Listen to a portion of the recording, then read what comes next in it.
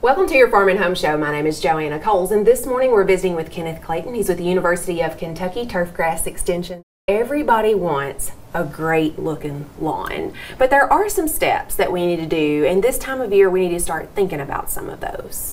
Yes, the fall is a great time of year to take care of our lawns, especially our cool season lawns like our tall fescue and Kentucky bluegrass.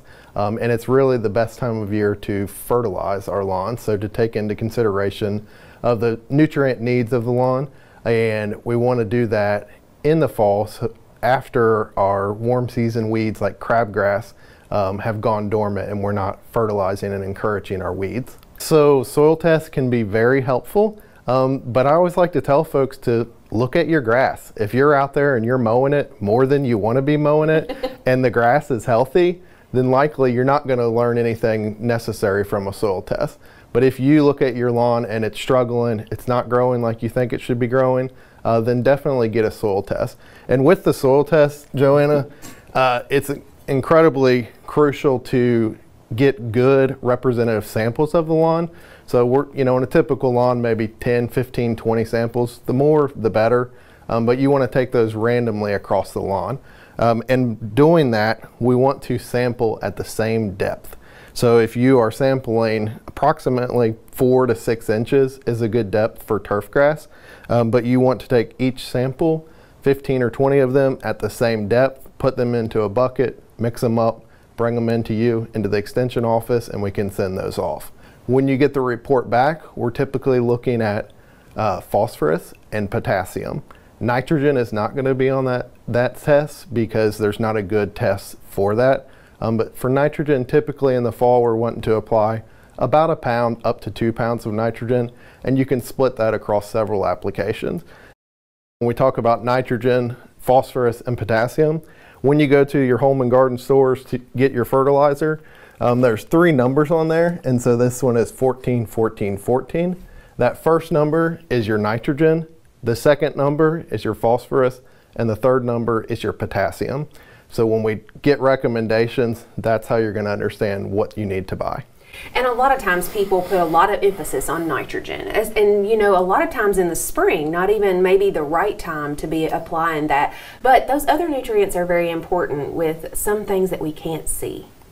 Yeah, so absolutely. Um, we are going to see in a soil test um, if there is a lack of potassium or phosphorus.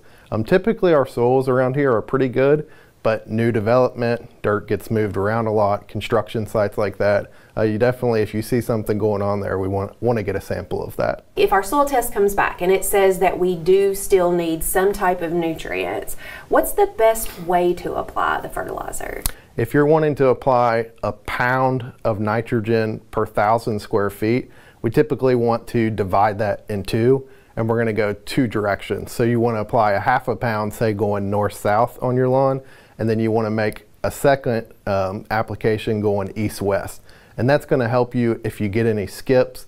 It's going to help prevent um, seeing green lines here and yellow lines in between that. Uh, much more uniform application with that. Okay, and do we make those applications at the same time? Yes. Okay. So you can do up to about a pound of nitrogen pretty safely.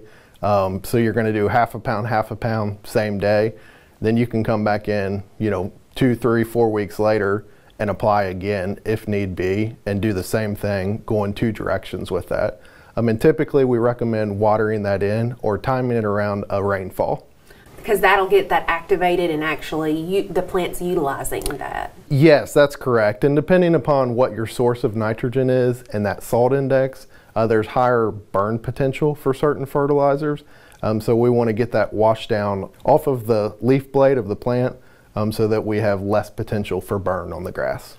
And why is fall the better time than spring? Yeah, so I think predominantly for weed issues, we don't want to fertilize our warm season Bermuda grass, crabgrass, goosegrass weeds and encourage them. We want to discourage them and encourage our grass that's growing. Um, and if you go out too early in times of drought and heat, the cool season grass isn't growing, so it's not going to actively take that nitrogen up uh, as well as our weeds would there. So that's a good time, and it's a good time to promote root growth of the cool season grasses. Thanks for watching and have a great day.